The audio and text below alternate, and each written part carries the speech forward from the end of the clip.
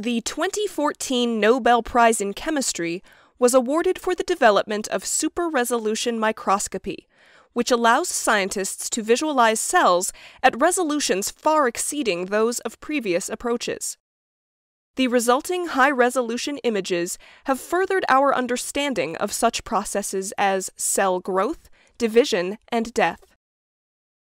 Improvements to the capabilities of super resolution techniques would provide access to an even greater wealth of information. This study presents just such an improvement, called Direct Optical Nanoscopy with Axially Localized Detection, or DONALD. Super resolution techniques generally suffer from three issues.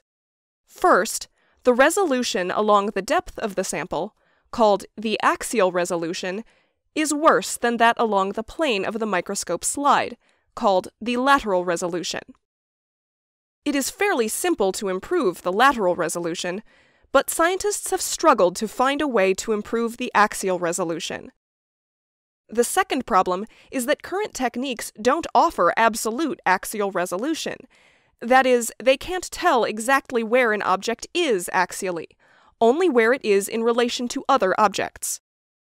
Finally, the experimental setups for these techniques tend to be expensive and complex, straining the resources of the laboratories running these experiments. To address these problems, the authors developed Donald, a new super resolution microscopy technique. This approach is an extension of the dSTORM technique, which takes advantage of the blinking of fluorescent molecules. Because different molecules are on at different times, the fluorescence of each molecule can be distinguished from the fluorescence of its neighbors. These individual fluorescence signals provide the precise locations of the individual molecules. Donald differs from dSTORM in that it also incorporates information obtained from supercritical light, whose collection strongly depends on the axial position of the molecule relative to the cover glass surface.